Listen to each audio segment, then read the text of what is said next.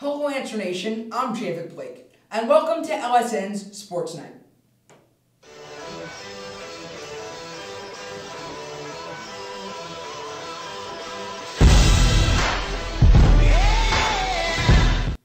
The 2015 basketball season is in the home stretch, and both Lancer teams have had a great season so far.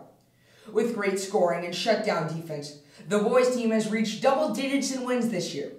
The girls team has broken a six game losing streak this week as well. Both teams look to put another number in the win column. January 21st against Somerset. Now for the LSN Star Players of the Week. The player of the week for the girls team is Sarah John. She's been playing great the last two weeks and hope to continue it this week. For the boys, the star player of the week is Griffin McAleer. He played out of his mind in the last two weeks with great three-point shooting. Now a big announcement regarding the Lancer Sports Network. Starting at the end of January, LSN will now include Norton Middle School and Norton High School hockey in our broadcasting schedule. All the teams have had a great season so far, and we look to bring you select games in the coming future.